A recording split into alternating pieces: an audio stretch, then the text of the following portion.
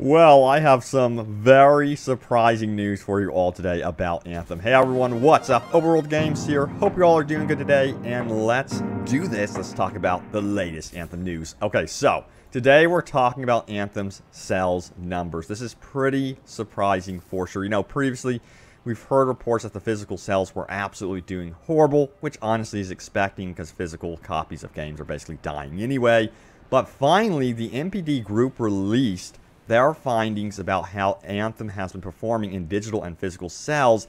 This does not include PC numbers. And if you don't know who the NPD is, they are the go-to group uh, when it comes to sales numbers for video games and so on and so forth. But let's get into this right now. So this is Matt Piscitelli of the NPD group. He says this, Anthem was the best-selling game of February 2019 and it is now the second best-selling game of 2019. Anthem represents the second highest launch month sales ever recorded for a BioWare-developed game, trailing only the March 2012 release of Mass Effect 3. Honestly, I was not expecting this news at all. I was like hoping that the game did okay, which, you know, this would be classified as the game doing okay as I get into this. It's not like it did absolutely astronomical, and the question is how many uh, users were retained from, you know, launch until now. We're going to talk about that a little bit more here in just a moment. But yes, Anthem uh, sat on the very top of the sales charts for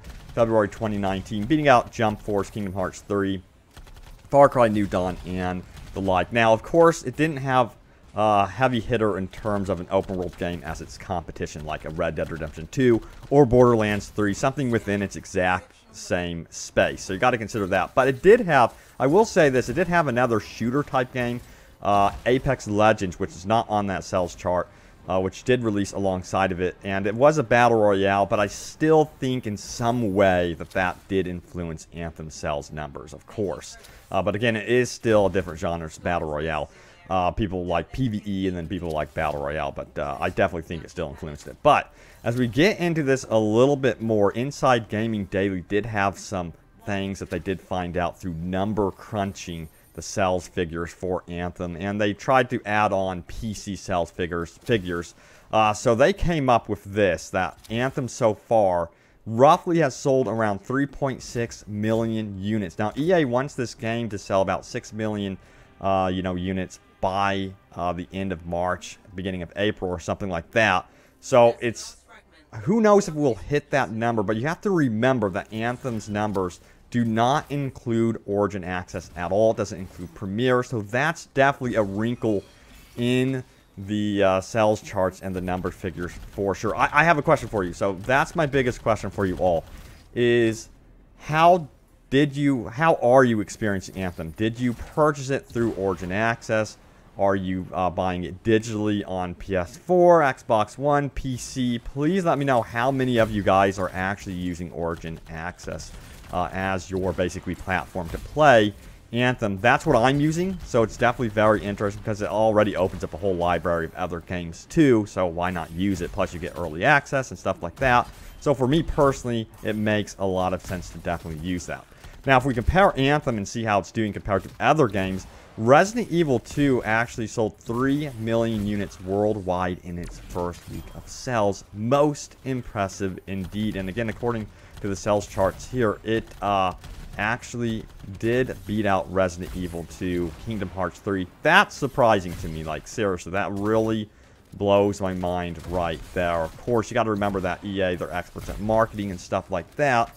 Uh, but yeah, the biggest question is, is how many users have been retained since launch? You know, that's a big issue, of course. And I've seen a drop-off myself, and that's going to be only natural with every single game. You've seen that from many games lately, like Red Dead Redemption Online. That's had a pretty significant drop-off as well. And then, you know, even like, you know, games like Apex Legends have uh, experienced that as well. That game is still booming, of course. Uh, but in terms of Anthem, the drop-off has definitely been more severe for sure because people want new content, which we will be getting legendary missions next week and a bunch of updates uh, next week for the Elysian chest, which I'm super excited for with the Vanity items and stuff like that, that with the Stronghold. So that's something I'm looking forward to.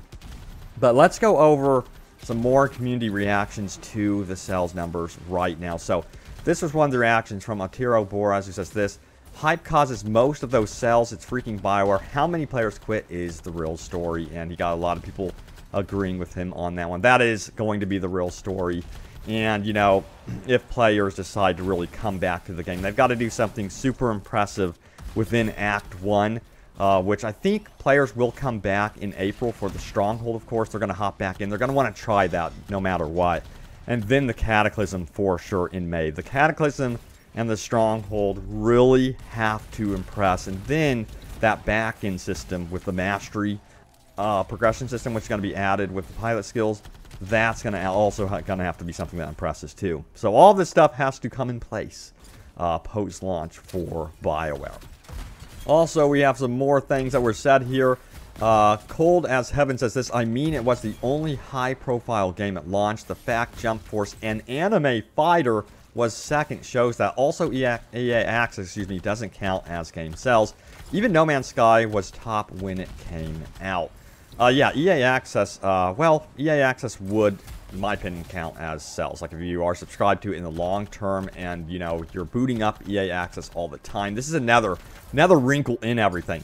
You're booting up EA Access all the time, whether it is to get to, you know, Battlefield 5 Battle Royale mode, what have you, Apex Legends, and you see an ad for the new Stronghold for Anthem, well, you might consider jumping back in, simply because you're, you're already part of EA Access. So that's another uh, thing right there. And I did want to add on to some of what else you had to say. Now, you mentioned No Man's Sky. That's definitely interesting because No Man's Sky has seen massive improvements, and they just announced No Man's Sky Beyond. So, potentially what they could do with Anthem in the future is release a bunch of content, get everything stabilized, and then release like an ultimate version of the game. You know, have like a subtitle to this game. That's something that they could do going forward, just like No Man's Sky has uh, is, is apparently doing as well. They're adding a bunch of really cool stuff. All right, so another thread that I did see here is the support for Anthem is basically very real here. Uh, 00812 says this, Bioware said Anthem is going to stay. They said they keep on supporting it. Well, same goes for me. There are plenty of players that still love the game. And that is very, very true. I think a lot of the players are certainly very patient players uh, as well uh, considering that, you know, they're still playing the game. They're waiting for the fixes and the content uh, and uh, so on and so forth. But, uh, yeah, I did see some replies to that thread, of course, that, uh, again, a lot of people are noticing that their friends are playing other games currently. I think that those type of people that are not engaging with Anthem right now are waiting around for something big to happen with the game, something more significant than these incremental updates. Uh, they really want to see a big change with the loot system, and they want to hear about this stuff. And uh, yeah, the new content I think will bring them back in for a short time. But I think the longevity of the game is going to be dependent on that big loot shift, that big loot change that is coming up here in the next couple months.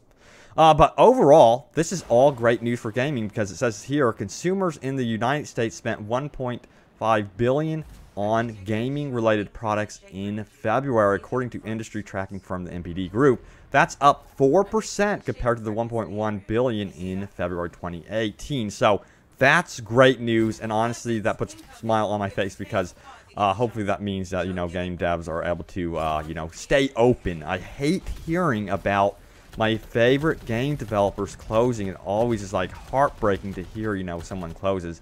Uh, you know, mentioning that the Sleeping Dogs Dogs uh, developer comes to mind all the time for me personally. I just hate hearing about it in Visceral Games and so on and so forth. So, yeah, uh, hopefully uh, that means this all means that you know Bioware can just keep going because I think we would all agree we still want to see Bioware make some really good games, and they did say you know their upcoming games from Dragon Age uh, franchise is going to be very different from Anthem, which means I think it's going to be very much uh, what they are used to do. Single player focused, story driven content, a proper RPG uh, like that. Okay, so now it's time to go over your top comments. Remember, leave a comment down below for a chance for it to end up right here in the video. Let's do this. So, first top comment comes from Craig, who says this, Stat screen is the most key thing in my opinion. All these boosts need to be shown together, like Diablo shows your overall stat boost. Very under, underappreciated thing that is needed. Again, another top comment about the stat screen. 120 upvotes there.